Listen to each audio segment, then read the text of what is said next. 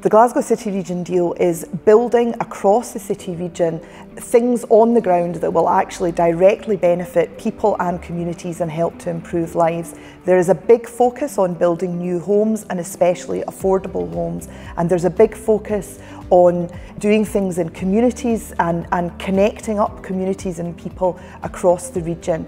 The City project is the largest of eight regeneration areas across the city of Glasgow.